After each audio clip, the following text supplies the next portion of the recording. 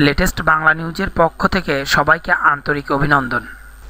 দেখুন, জঙ্গি দমনে সীমান্তে যে ব্যবস্থা চালু করেছে পাকিস্তান। জঙ্গিদের বিরুদ্ধে লড়াইয়ে আফগানিস্তান সীমান্তে বাড়তি নজর দিচ্ছে পাকিস্তান। আর তারই জের ধরে আফগানিস্তান সীমান্তে যৌথ টহল ব্যবস্থা চালু করতে সম্মত রয়েছে ইসলামাবাদ।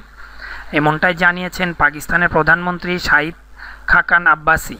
এ ব্যাপারে রাজধানী ইসলামাবাদে সাংবাদিকদের তিনি বলেন, পাক আফগান অভিন্ন সীমান্তে যৌথ টহল চালু করতে এবং যৌথ নিরাপত্তা ঘাঁটি তৈরি করতে সম্মত রয়েছে পাকিস্তান। এছাড়া অভিন্ন সীমান্তের পাকিস্তানের দিকে কাঁটাতারের বেড়া দেওয়া হবে বলেও জানান তিনি।